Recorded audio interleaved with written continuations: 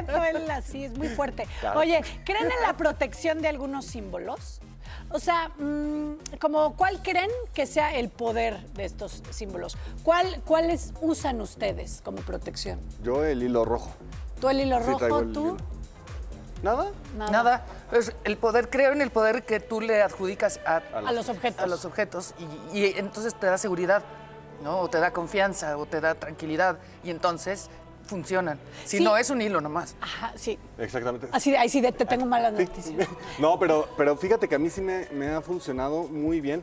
Dicen que, por ejemplo, cuando te pones el, el hilo rojo, que si se te, por algún motivo se te cae la pulsera o algo, es porque te está protegiendo de algo que te iba a llegar malo. Entonces pon tú que, que quién sabe, pero pues si ya se cae, ah, bueno, algo Sí, malo sí. venía y ya le tocó al Sí, hilo, no a mí. Es, es- es- es muy normal los ojitos, ¿no? Para el mal de ojo, para sí. las envidias y así. Pero, y luego eso, dicen que cuando te echan mal de ojo, esas pulseras explotan. A mí sí me han explotado varios, no sean así. No me echen el mal de No ojo, puede ser, no puede me, no me echen mal de ojo porque explotan bien gacho. Pero sí creo que, por supuesto, que tiene que ver con esa energía que tú le cargas a ese objeto. Claro. ¿no? Pues sí, claro. Pero tú, tú eres más como espiritual, ¿no? O sea, si crees en los cuarzos, si crees en los ojitos. Sí, sí, creo en todo, mira. Ah. Pero, por ejemplo, o sea, creo que las tradiciones chamánicas siempre traen algo rojo, se amarran cosas rojas en la cintura o en la frente cuando están haciendo trabajos de energía. Pero sí creo que tiene que ver con esta cuestión de eh, irlo cargando. El, yo no sé si ustedes se acuerdan de este documental en donde el señor, por medio de las, no me acuerdo cómo se llamaba, por medio de las palabras, eh, demostraba cómo eh, las células What the bleep do we know? del agua, ¿no? Se modificaban eh, según la palabra que le dabas. Sí, ¿no? sí, sí, sí. Pero mm, bueno, e- es que ah, son, son muchas aristas, pero por ejemplo la tradición conchera prehispánica mexicana también tiene eso, también tiene el, el- el rojo o el rojo acá co- como por protección y tienen, por ejemplo, ciertos símbolos que solo las mujeres pueden prender el copal. ¿No? Y tienen que hacer la tradición de hacer la cruz, decir Él es Dios, solo son las mujeres. Son, son rituales y símbolos que nada más alimentan a una tradición, o sea, sea religiosa, sea, bueno, católica, o sea, por ejemplo, esto pues es el símbolo de la paz, no tiene que ver con una religión, tiene que ver con los hippies, ponle, ¿no? Así es. Y, y también, esto, esto es Peace and Love y también el otro, el circulito, entonces son, son co- comunidades que escogen su... eh, ¿Cómo se dice? Su, bueno, sus, sus símbolos, creo que se dice.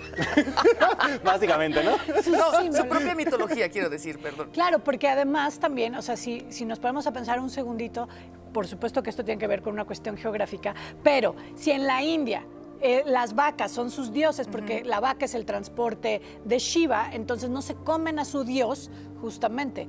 Pero entonces es bien chistoso pensar que en un país no sé que ese es su dios y en otro país nos lo comemos muy sabroso en una hamburguesa. O ¿no? en, en Egipto, ¿no? Hay una pirámide de las ratas que ingresas a la pirámide y está atascada de ratas y, y son sagradas, o sea, son los símbolos Es de que protección. porque y- la rata, la rata, la vaca, el pavo real son los vehículos de los dioses. Exacto. Entonces, por eso son sagrados. Cuando aquí, ah, también en, en el Tíbet, por ejemplo, las cucarachas. Entonces, este, pues imagínate. Pero estamos hablando de una, una cosa es el ritual de lo sagrado y otra cosa son los símbolos. No, es que sí, es que se, se unen. van como conectados, Van, ¿no? van conectados, claro, claro. Pero mm, Y luego, y luego también me, me parece que es muy curioso cuando la banda se tatúa algún símbolo que Sí. les son muy importantes o muy representativos. Sin embargo, a mí me genera mucha gracia cuando es así de, ¿qué dice aquí? No, pues aquí dice, este, Dios me va a proteger en sánscrito.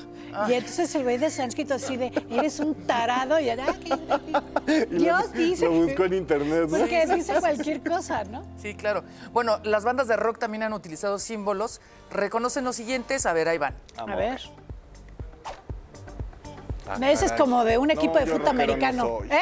Héroes del silencio. Héroes del ¿Eres del silencio. silencio? Ah, Toño dice, ¿eres del silencio? Muy bien, Toño. Muy bien, punto para Toño. Nirvana. Mi hermana. Mi hermana dice. Nirvana, dice Mariana. Mi hermana. Pink Floyd. Pink Floyd, ese sí. Pink. Floyd, ese de. Prince. Ay, ay, ese. Oiga, no, yo ahí sí, sí no se los manejo. Rolling Rolling Stones. Stones. Ay, hasta que te despertaste, Godoy. que haya Ay, nada ¿cuál nomás otro? dándome lata, carnal. Y bueno, también hemos hablado de, de- de este, ¿no? El la manita del Ah, metal. de acá del rock. que Ronnie James Dio era el, italiano que su abuelo le decía, es que te van a echar malas vibras. Entonces él hacía esto, hacía este cuernito así de, no, no, no, no, no, porque no me eches el mal de ojo. Y al ratito, pues ya terminó siendo así. Y al ratito, pues por culpa de moderato, ya todas las niñas hacen así. eh, Y sacan la lengua. Pero, Bueno, pero también, este, no sé si son las gitanas que también hacen así Ajá. y escupen, ¿no? viene de ahí, justo de que no me vayas a echar el mal de ojo. Ah, oye, este, ¿y qué les iba a decir? Ya se me fue, gracias. Símbolos Ah, bueno, paganos también existen. No, no, no, ahorita me acuerdo. el símbolo. Ah, de ya me acordé. ¿Qué? No, bueno, ahorita, ahorita que acabemos de ver las imágenes. No, que por ejemplo es bien interesante como el símbolo de la suástica, eh, claro. al revés, en el Tíbet, es la rueda de la vida. O sea, las, las, como las patitas van para el otro lado. Y luego, este, justamente, los nazis agarran ese mismo símbolo y le cambian el sentido a las patitas y es la rueda de la muerte. que es como uno de los símbolos más, o sea, universalmente Repudiados. repudiados. Es correcto, pero es impresionante porque cuando llegas al Tíbet y ves que hay un montón de suásticas, es un shock. shock. Luego, luego te da, te repelús y lo que pasa es que estos hijos de la guayaba lo agarraron, el de la vida, y le cambiaron el sentido. Claro. Es impresionante. Vamos a hablar más adelante de Manson, que él se tatuó, Charles Manson se tatuó la suástica en la frente. Entonces imagínate qué violento. Cierto. Llegas y, y lo primero que te llama la atención es, Es esto. esto. ¿no? Sí, sí, durísimo. Y luego también los tibetanos, por ejemplo, hay muchos mantras que hacen con, que la verdad es que no me lo sé, pero hacen como cosas con sus manos y también son símbolos. También los maras salvatrucha. ¿Y También, sí? es, es bueno, Sí, los maras también, y esos tatuajes que, que portan, que están comunicando fuerte y claro a la sociedad que los está viendo, cuántos llevan, este, Las lagrimitas, La es lagrimita. ¿cuántos han matado?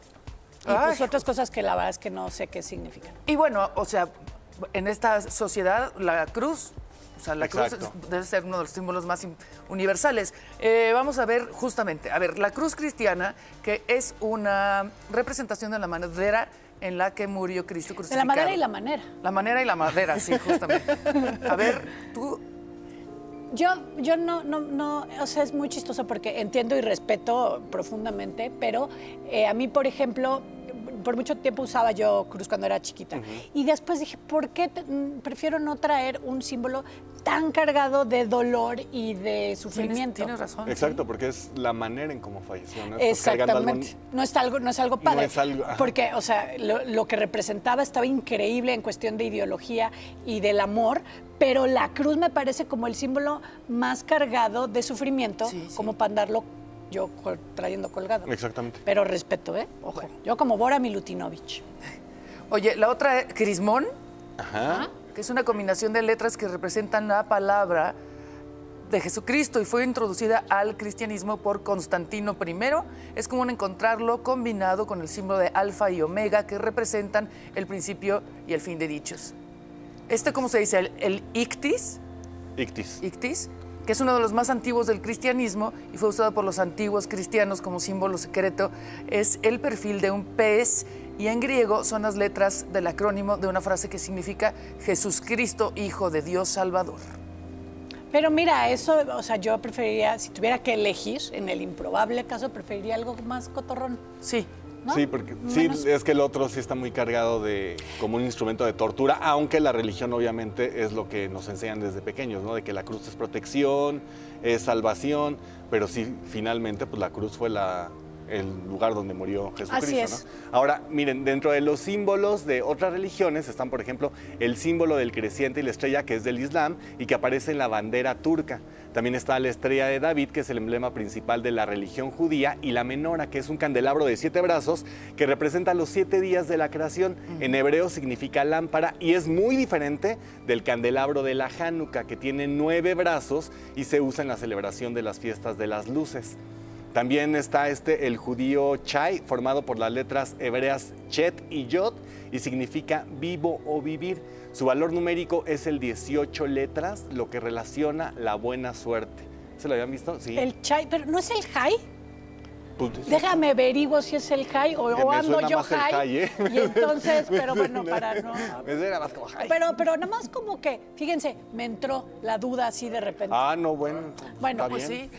O- oye, este también, por ejemplo, para lo contrario, para el demonio, Ajá. está la cabra, está la, la estrella invertida hacia abajo, están algunos pentagramas, el- los simples cuernos, ¿no? También Claro. simbolizan a el mal, al diablo. Que hay un libro, es el libro del demonio, se llama el Necronomicon. Ajá. Ese libro está lleno de simbolismos y es eh, los, los padres católicos dicen que es muy complicado este libro porque hay gente que lo abre sin saber y solamente está viendo los símbolos y está haciendo como lectura de algo que no entiende y lo que te dicen los padres es que es muy complicado hacer eso porque los símbolos vienen cargados de energía y esa energía, aunque no sepas eh, leerlo tal cual, estás mandando esa energía hacia ese tipo de entidades. Entonces hay símbolos que también no conviene tanto Ay, nanita. sin Ay, conocerlos. mamapulpa. Sí es el chai, pero, pero, este, creo que esa es la importancia que tienen los símbolos, que con una sola mirada ya sabes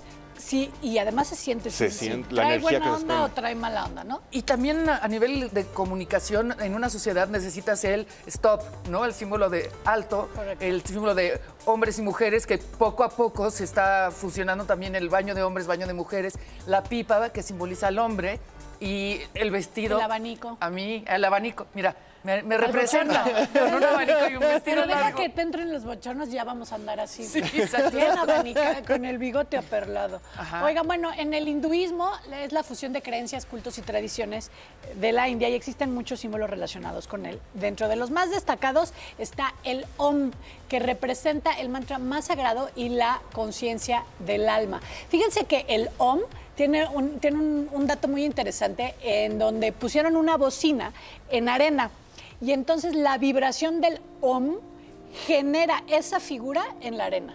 Ah, ¿Cómo crees?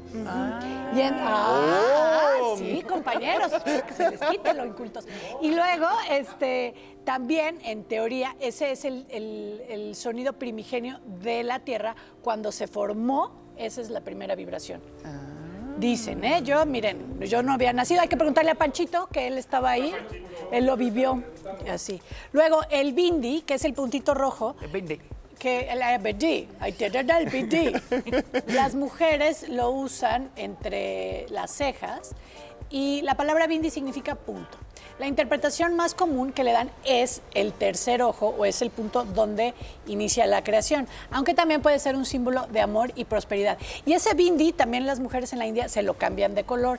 Y luego también los hombres eh, eh, sabios se ponen una raya Sí, sí, sí. también y que tiene que ver la conexión del tercer ojo con el chakra de coronilla, que es el chakra divino. Ándale, estamos aprendiendo con la maestra. ¿eh? Ahora sí. Primaria trunca, no, lo creo. No, mi ciela. Y yo hablando de los baños o del gallito inglés. ¿Conocen el gallito inglés? Desarrolla, Mariana. ándale. No, vamos a la pregunta de redes. Desarrolla el, el gallito inglés. Pues es que no sé, no sé la historia del gallito inglés, pero bueno, simboliza a un.